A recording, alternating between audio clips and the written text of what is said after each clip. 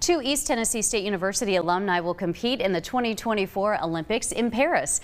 The university says golfer Austin Meronk of Poland and tennis player Sander Gillé of Belgium will represent their home countries.